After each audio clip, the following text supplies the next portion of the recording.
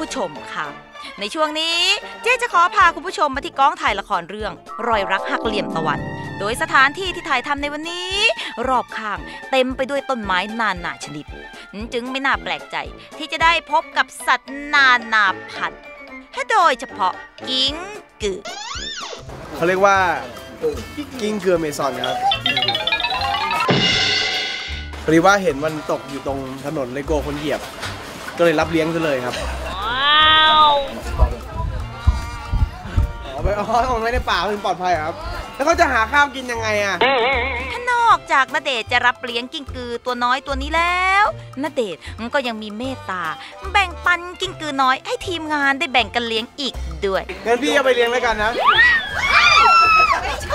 เรื่องมันก็มีอยู่น้อยอะกูตกใจปุ๊บต่อยเลยนะเอ้าจริงเหรอเอาจริงแต่ไม่ชอบนะใส่กระเป๋าไม่เอาไปไกลใส่กระเป๋าเก่ง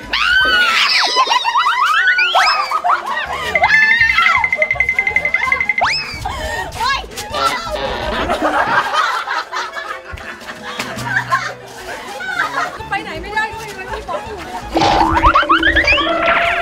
เดี๋ยวอ้อย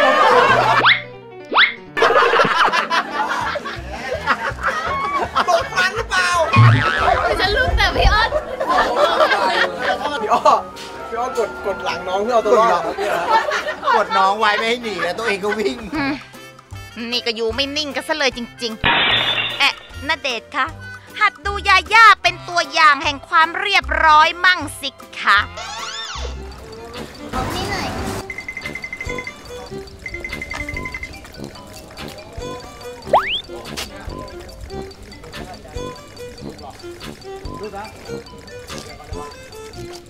เดี๋ยวไปดูกันค่ะ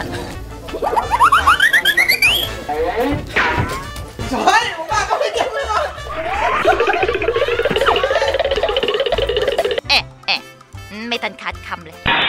อืมสรุปว่าอืมไม่ได้มีใครดีกว่าใครเลยใช่ไหมคะ เนี่ยมีความสนุกอยากให้คุณมีความสุขคุณผู้ชมคะ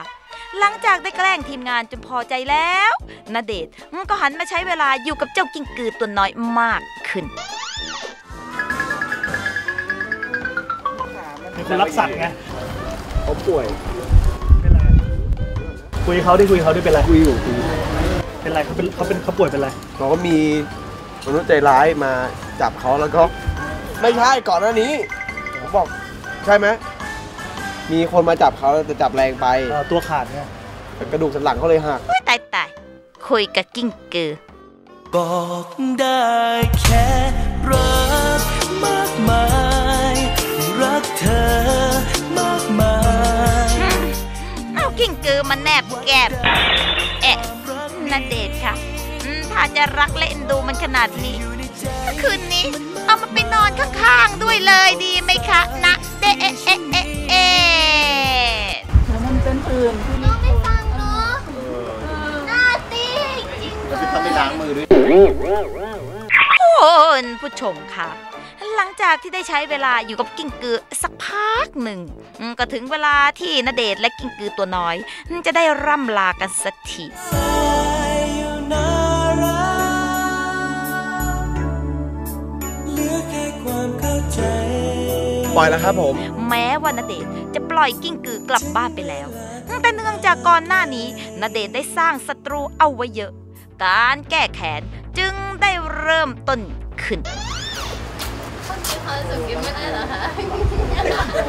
มาไม้ไหนวะเนี่ย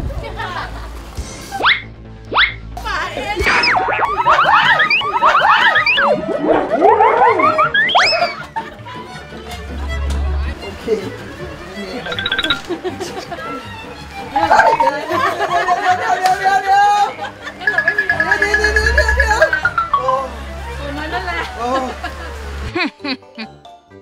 โลกนี้มันอยู่ยากใช่ไหมคะนะเดเอเอเอเอตกใจแเลยอนแทอนะ